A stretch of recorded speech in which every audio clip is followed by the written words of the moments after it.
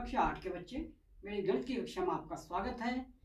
गणित की कक्षा में हमारा पाठ चल रहा है बीजी व्यंजक व सरसमिका आज हम इसका सरसमिका वाले पाठ को आज हम लेंगे। तो सर्वप्रथम हम समझते हैं कि सरसमिका इस शब्द की हमें आवश्यकता क्यों पड़ी? क्योंकि समीकरण शब्द हमारे पास पहले से ही था। तो हम समझने का प्रयास करेंगे कि समीकरण और सर्वसमिका में अंतर क्या है। जैसे हमने एक समीकरण दिया एक समीकरण हमने उदाहरण के लिए लिया जो है पाँच एक्स धन दो बराबर सात। यदि इसे हम हल करें, इसे हल करना तुम लोग जानते हो, इस दो का यहाँ पक्षांतर करेंगे तो सात ऋण दो हो जाएगा, जो कि आएगा पाँच। यानी पाँच एक्स बराबर पाँच तो एक्स बराबर पाँच बट्टे पाँच, जो होगा एक। यानी एक्स का मान होगा एक। इस प्रकार हमें देखते हैं कि समीकरण, इस समीकरण से हमें एक मान प्राप्त होगा तो एक्स बराबर एक इस समीकरण को संतुष्ट करेगा। यानी इस समीकरण को हमने हल किया तो हमें एक मान प्राप्त हुआ।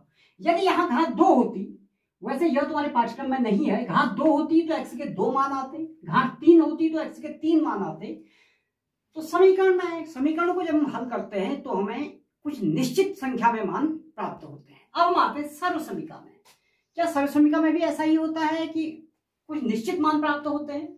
हमने एक सर्व समीका ली हमने कहा, ए धन तीन का पूर्ण वर्ग बराबर एक ही घात दो, धन छ धन नौ। यह एक यह एक सरसमिका है। यदि इसमें हम ए का मान दो रखें, मान लीजिए हमने ए का मान दो रखा तो इसका बाया पक्ष यानी लेफ़्ट हैंड साइड जिसे हम कहेंगे यदि ए धन दो, ए धन तीन का पूर्ण वर्ग होगा, दो धन तीन का पूर्ण वर्ग जो आएगा पाँच का पूर्ण वर्ग बराबर पच्चीस। अगर हम इसके राइट हैंड साइड लें यानी दाया पक्ष लें और इसमें भी हम ए का मान दो अगर रखें तो ये आएगा दो का वर्ग। इसमें हम मान रख रहे हैं दो का वर्ग धन छ गुणा दो, धन नौ। यदि इसे हम हल करें तो दो का वर्ग चार, छह दूनी बारह, धन नौ। यदि हम जोड़े इसको बारह धन चार सोलह, धन नौ पच्चीस। तो हम कह सकते हैं कि यहाँ हमें लेफ़्ट हैंड साइड और राइट हैंड साइड दोनों बराबर हैं और दोनों का मान पच्चीस है। अब यहाँ हम देखेंगे, इसके आगे कार्य तुम घर में स्वयं भी कर सकते हो।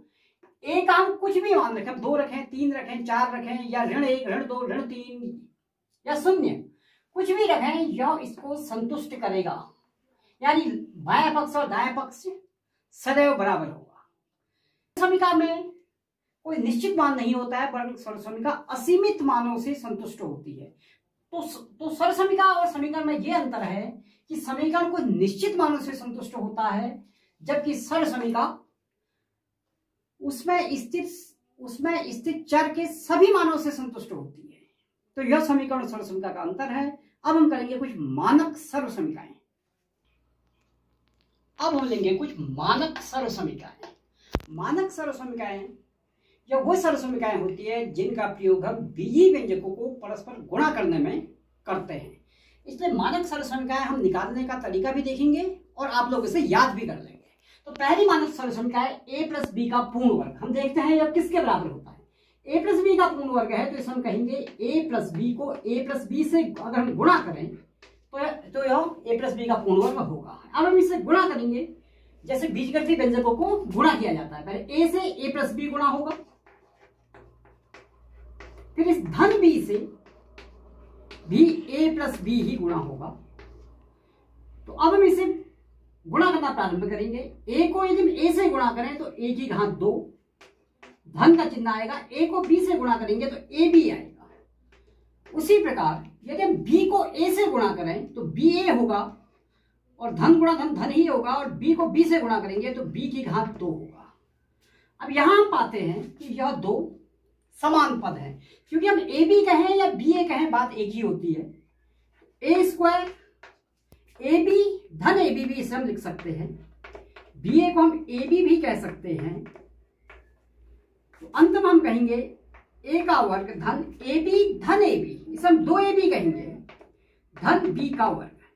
यानी हमें एक मानक सरसमिका मिल गई कि ए प्लस बी का पूर्ण वर्ग बराबर ए का वर्ग, धन दो ए बी धन बी का वर्ग।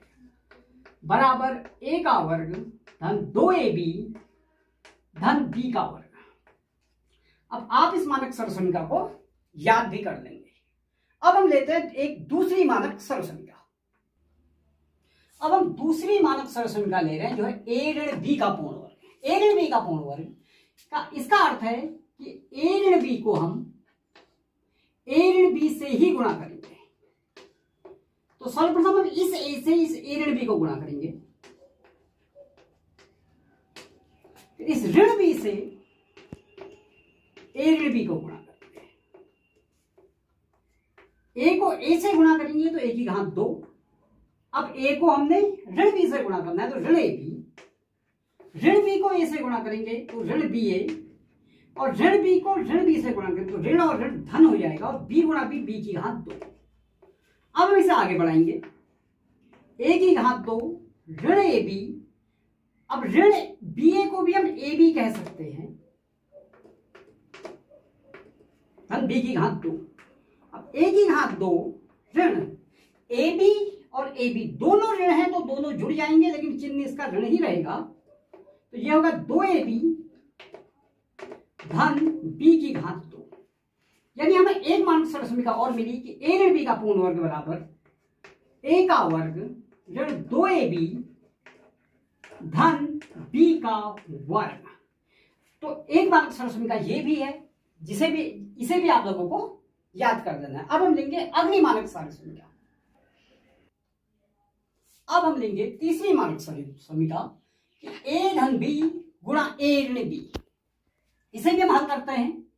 ए धन बी ए ऋण बी को यदि हम गुणा करें तो हमें मेरे पास सर्वप्रथम हम ए को ए ऋण बी से गुणा करेंगे। तो ए गुणा ए ऋण बी अब इस धन बी को हम ए ऋण बी से पुनः गुणा करेंगे। अब ए को ए से गुणा किया तो ए का वर्ग, ए को बी से गुणा किया, ऋण ए बी। धन बी को ए से गुणा किया तो बी ए। धन और ऋण है तो ऋण आएगा, बी को बी से गुणा किया तो बी की घात दो। अब हमारे पास हमें मिला ए की घात दो, ऋण ए बी। धन बी ए को भी हम धन ए बी कह सकते हैं, या कहेंगे ऋण बी की घात दो। अब यहाँ देखिए, ऋण ए बी, धन ए बी। यानी दोनों से, दोनों राशियाँ बराबर हैं, और लेकिन इनके चिन्ह अलग अलग हैं तो यह कट जाएँगे, या इनका मान शून्य हो जाएगा।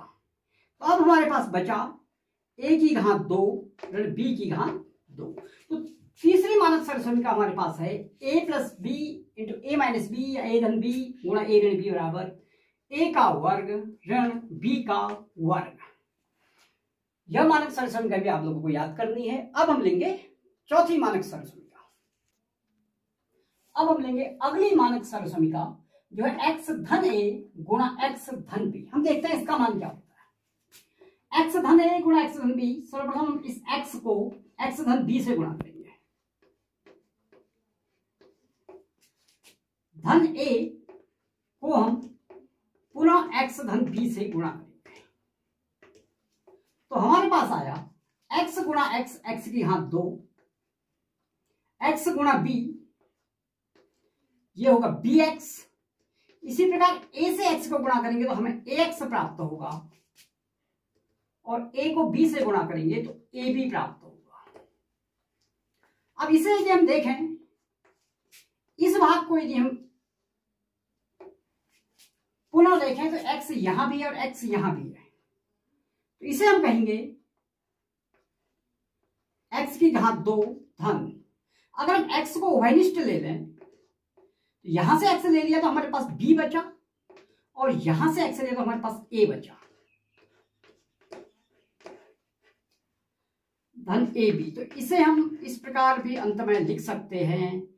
इस बी प्लस ए को हमने ए प्लस बी लिखा। एक्स धन ए बी तो हमें सरसमिका मिली एक्स की घात दो धन ए धन बी गुणा एक्स धन ए बी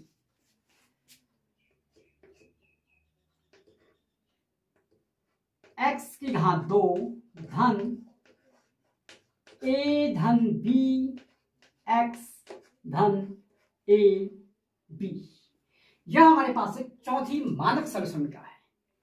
आज के लिए बस इतना ही। आप लोग इन्हीं मानक सरसमिकाओं को ज्ञात करने का कार्य अपने घर में भी करेंगे और मेरा यह वीडियो बहुत धन्यवाद।